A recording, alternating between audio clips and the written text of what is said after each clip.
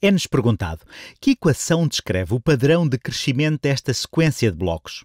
O que queremos calcular é, por exemplo, se soubermos que x é igual a 10, quantos blocos teremos? Observemos este padrão. No primeiro termo da sequência, no primeiro objeto ou no primeiro conjunto de blocos, temos apenas um bloco. Vou escrever o termo. Vou escrevê-lo aqui em cima. Temos o termo, termo,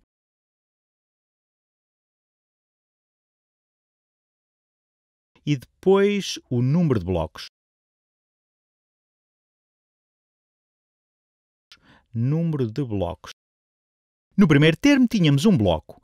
No segundo, vou escrever isto para que fique bem registado. O que aconteceu é semelhante ao primeiro termo, mas adicionamos uma coluna de quatro blocos. Temos 1 mais 4, portanto, 5 blocos. Adicionamos 4. E o que aconteceu no terceiro termo? O que se passou no terceiro termo é semelhante ao segundo, mas adicionamos mais uma coluna de quatro blocos aqui. Adicionamos esta coluna aqui. Imaginem que é adicionada ao lado esquerdo do padrão.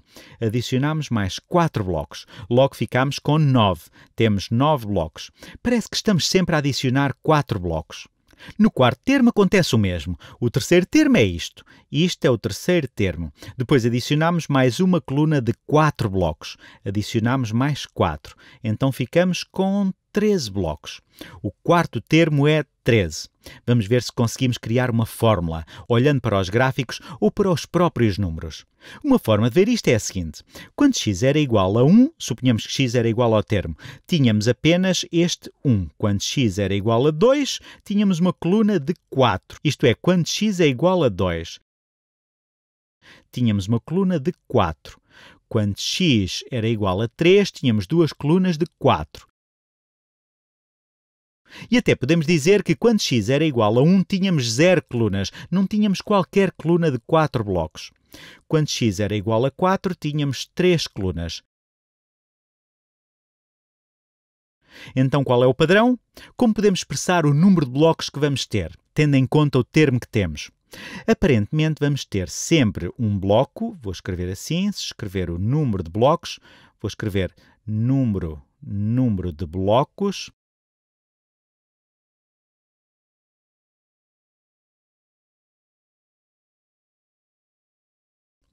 temos sempre um, certo? Temos este aqui, este, este e este. Temos sempre um.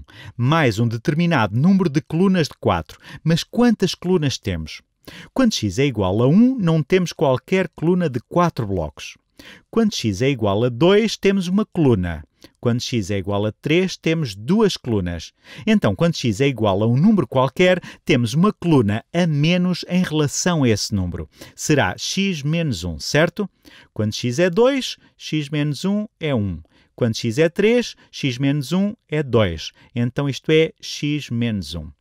Quando x é 2, isto é x menos 1. E isto também e isto também.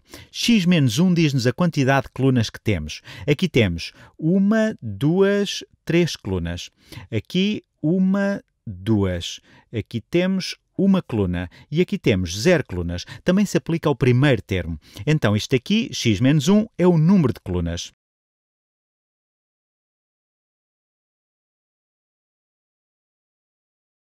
E em cada coluna temos quatro blocos. Então é o número de colunas vezes 4. Por cada coluna temos 1, 2, 3, 4 blocos. Então, esta é a equação que descreve o padrão de crescimento. Vou escrever.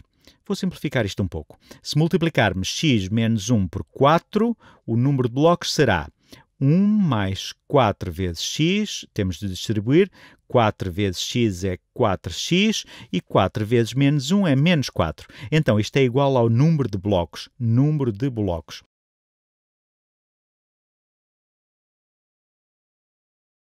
E podemos simplificar isto. Temos 1 e 1 menos 4. Estamos a subtrair 4. Significa que isto será igual a 4x menos 3. É esse o número de blocos, tendo em conta o termo x. Se o termo for 50, teremos 4 vezes 50, que é 200, menos 3, que é 197 blocos. Também podíamos ter feito isto de outra forma. Podíamos dizer, sempre que adicionamos 4, isto pode ser representado por uma reta, e podemos encontrar o declive da reta que liga isto, assumindo que essa reta só está definida em números inteiros. Pode ser um pouco mais complicado, mas pensemos assim. Sempre que adicionamos um termo, adicionamos quatro blocos. Podemos escrever assim. Podemos escrever variação, este triângulo significa variação, o delta significa variação de blocos. Variação de blocos a dividir por a dividir por variação de x. Talvez reconheçam isto, é o declive. Se o conceito de declive vos for completamente estranho, podem resolver isto como fizemos antes na primeira parte do vídeo. Esta é uma forma igualmente certa e talvez os ajude a perceber o que é o declive. Qual é a variação de blocos por variação de x? Quando x passou de 1 para 2, a variação de x foi 2 menos 1. Aumentámos 1. E qual foi a variação de blocos? Foi de 4, ou 5 menos 1. 5 menos 1. E quanto é que isto dá? Dá 4 sobre 1, que é igual a 4.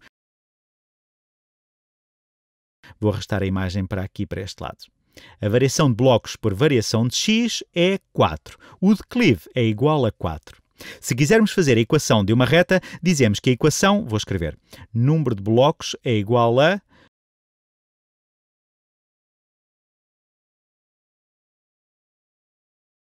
4 vezes o termo, o termo que temos no padrão, mais uma constante. Isto é a equação de uma reta. Se isto vos for completamente estranho, façam como fizemos no princípio. E como calculamos esta constante?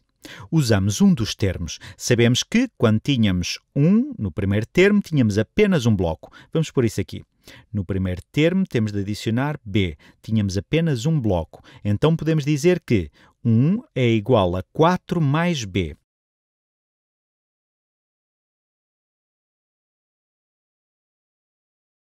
Se subtrairmos 4 de ambos os lados da equação, se subtrairmos 4 de ambos os lados, o que obtemos? No lado esquerdo, 1 menos 4 é igual a menos 3, e isso é igual a...